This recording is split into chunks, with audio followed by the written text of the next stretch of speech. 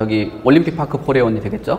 예, 그것 같은 경우도 한 만 가구 이상 정도는 지금 분양권 거래들이 이제 나오는 그런 과정이거든요. 그래서 아마 프리미엄이 좀 크게 발생될 수 있는데 과밀 억제권, 뭐 서울 같은 경우가 되겠죠. 뭐 1년이고 다른 곳 6개월, 비수도권 같은 경우는 어, 전매 제한 기한이 없다라는 거 참고를 하시면 좋을 것 같아요. 자, 이런 것들 때문에 수도권에 있는 아파트 청약 경쟁률 추이 보면은 전매 제한 풀었죠. 그 분양 가격 오른다고 하죠. 공사비 오른다라는 이야기들 어, 있죠. 금리는 동결됐죠. 예, 전반적으로 어, 공급 물량은 축소된다라고 하죠. 그러다 보니까 청약 경쟁률이 올라갔어요. 거기에다 앞으로 이제 신혼부부를 비롯해서 어, 다자녀 기준 같은 경우도 그 세 가구가 아니라 두 가구로 또 줄어듭니다. 예, 그리고 앞으로 젊은 세대들이나 세대주가 아니라 세대원들도 참여할 수 있게 해요.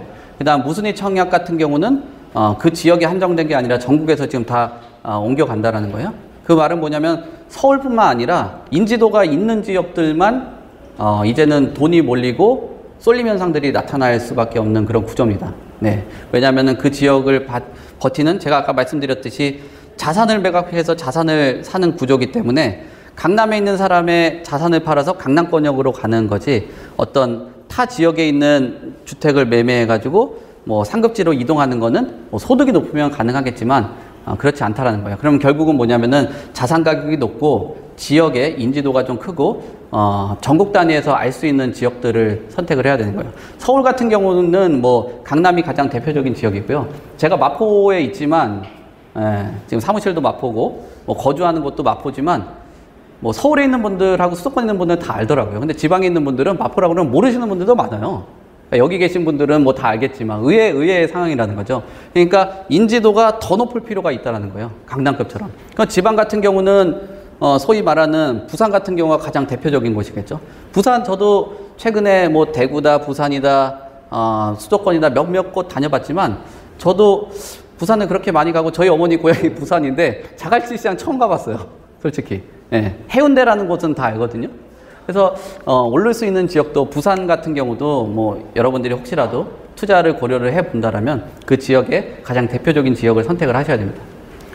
자, 지금 미분양 같은 경우도 아까 전매제간, 그다음 무순위, 그다음에 금리, 그다음에 착공 물량 결국은 미분양이 줄어든다는 건 착공이나 인허가가 덜해야지 미분양들이 추이가 줄어들거든요.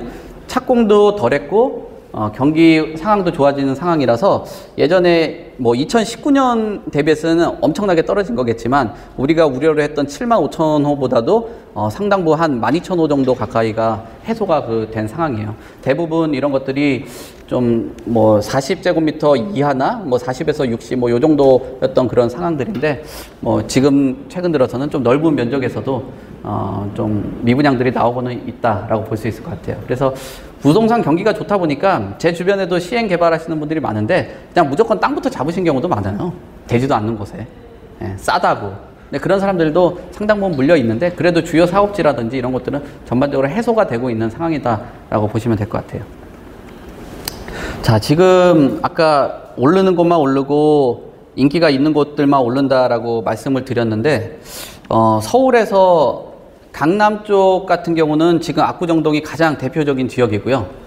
강 북쪽에서는 성동구, 성수동이 가장 부촌이라고 불리는 지역이에요.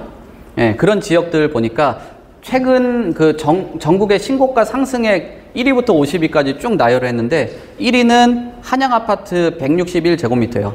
그 기존에 있었던 가격이 36억 원이었는데 지금은 어, 53억 원으로 거래됐거든요. 그러니까 거래된 금액이 어, 17억 정도가 오른 거예요. 근데 이 어, 상품의 그 특징은 압구정동 그 다음에 재건축 단지라는 거예요. 그리고 면적도 크기 때문에 지분이 있다. 그러니까 결국은 이 가격이 그냥 가격이 아니라 앞으로 개발됐을 때그 어, 가격까지도 반영이 됐고 거래가 되고 있고 지금 어, 뭐 어떤 개발 사업에 대한 공급에 대한 이슈도 담고 있다라고 볼 수 있을 것 같아요. 그리고 서울의 성동구 성수동 갤러리 아 포레 같은 경우는 241제곱미터거든요. 기존 가격이 84억 5천이었어요. 근데 지금은 한 100억 거래됐거든요. 네, 한 15억 정도가 오른 거예요. 그이 아파트의 특징을 본다라면은 뷰가 좋고요.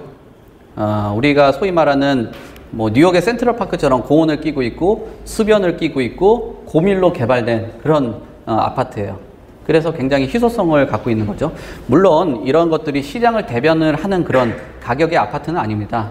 근데 이런 의미 있는 것들이 요즘에 거래량이 줄어들고 가액들도 조금씩 어, 올라가지 못하는 곳들이 있지만 어, 그래도 좀 선별적으로 가격을 따로 도- 탈동조해서 움직이는 곳들도 있다라고 보여집니다. 그리고 그 다음에 지방에서는 가장 많이 오른 곳이 어디냐? 뭐 제가 아까 말씀드렸듯이 서울 빼고 제일 인기가 높고 제2의 도시가 부산이잖아요.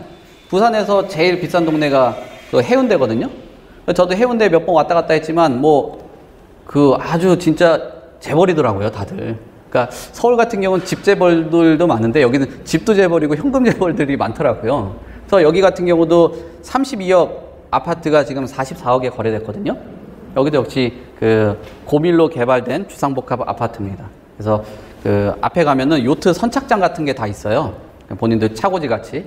어, 그 해운대구만 부산에서 가장 눈에 띄게 올라갔고 지방에 지방 그 전국에서 전국 통틀어서는 압구정동이고 지방 통틀어서는 부산 해운대구가 가장 높은 가격을 기록을 했다라고 보면 될 것 같습니다.